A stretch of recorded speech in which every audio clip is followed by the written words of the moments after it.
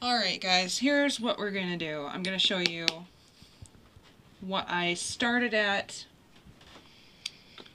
and how I worked my way down to the 0.082. Okay, so we're at 0.5.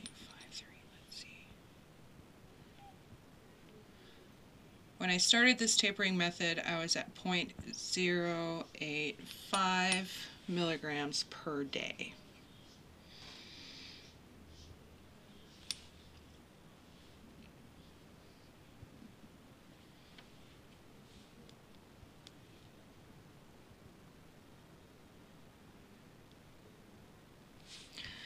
So we're here at 0.085 and I did that for a good month before I tapered down.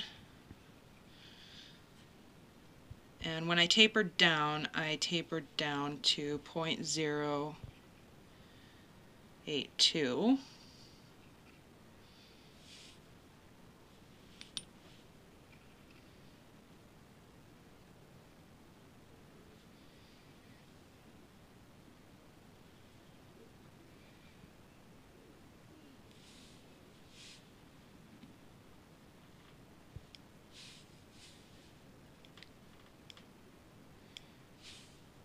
crazy how sensitive this scale is because it doesn't look like I'm adding anything whatsoever.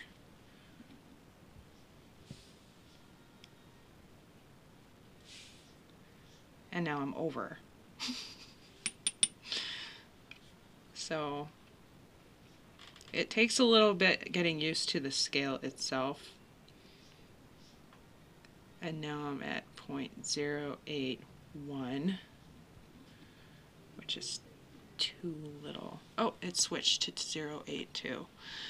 So that's where I tapered down to. And now I'm at 0.080.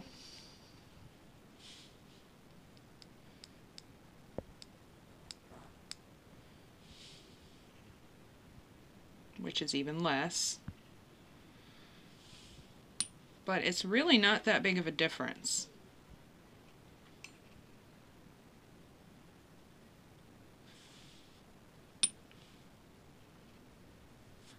But just in those three little weights,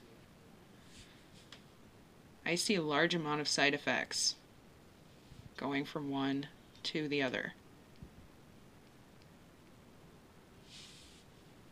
I was holding for about a month in between the cuts. You see now it switched to 7-9. So I would put a little back in.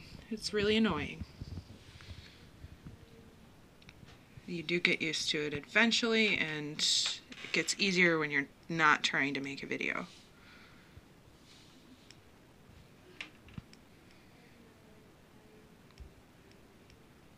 Holy crap, look at that 79. It's good to have a good amount of powder in there too. Help you get it weighed out correctly. Because if you have chunks in there, it's going to tip the scale really fast. Now I'm at 81. So you can see how sensitive this is.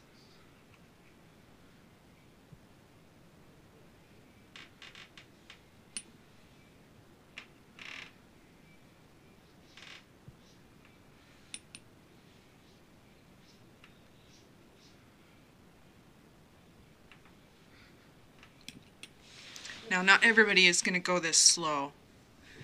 Not everyone is going to have uh, the amount of side effects that I do. You could actually go up and taper down twice as much, three times as much, five times as much if you want to. Or you could taper down a hundredth of a milligram at a time. So this is why I created this method for myself, is because I needed to be able to go as slow as I possibly could have least amount of side effects as possible, but I needed it to be stable and know that I'm getting the right amount each night. And I wanted to make this a little bit easier for people who have other health issues like I do. Like with my Crohn's, any type of stress is going to make my other conditions worse. So, people with epilepsy and people with other health issues need to be able to really control their taper. So, this is the way that I would suggest tapering if you want to have the most control over what you are putting into your body at that time. Um, it's a lot more accurate than, say, just cutting up one pill per day and putting it in your body. This way might help you stabilize easier and faster, give you more control, and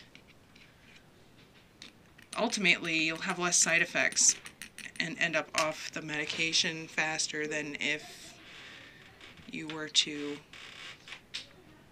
be sick the whole entire time.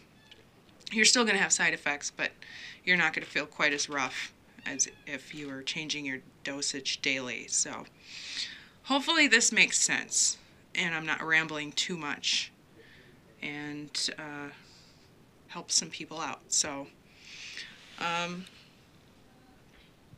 yeah, I guess let me know if you have anything to add or any questions, and hopefully, this helps you stabilize too.